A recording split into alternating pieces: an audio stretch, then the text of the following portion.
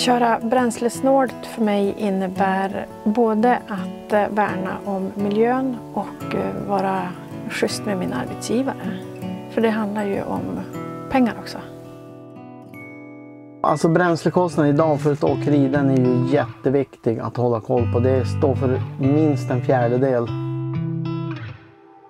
Ja, den, den här aktuella bilen är ju en, en 32 tons Tridenbil med 18 kubiks tank. Och den ligger en, en liten bit under 3 liter per mil och det är otroligt bra för den här typen av körning.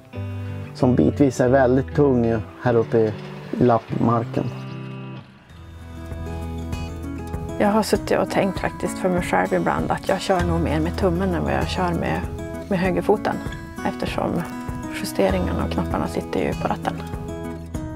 Nyttja farthållaren, använd systemen som finns och lita på dem. De är framtagna av en anledning.